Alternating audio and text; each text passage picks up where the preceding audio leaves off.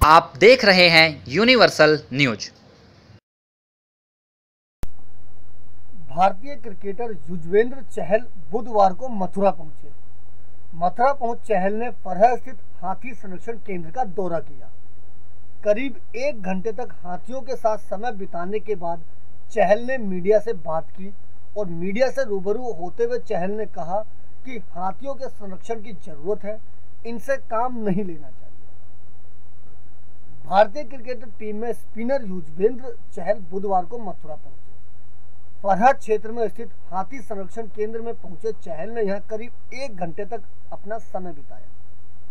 चहल ने इस दौरान हाथियों का संरक्षण कर रही एनजीओ से इनके संरक्षण करने के बारे में जानकारी ली। इस संरक्षण केंद्र में एनजीओ के लोग ऐसे हाथियों का संरक्षण कर रहे हैं जिन्हें या तो सर्कस में प्रयोग किया जाता था या इनसे काम लिया जाता था।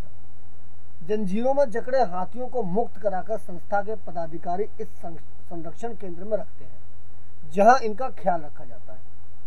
हाथियों के बारे में जानकारी करने के बाद चहल मीडिया से रूबरू हुए। मीडिया से मुखातिब होते हुए चहल ने क्रिकेटर, क्रिकेट के सवालों से दूरी बनाते हुए कहा कि हाथियों के संरक्षण की ज़रूरत है और हाथी आक्रामक नहीं होते।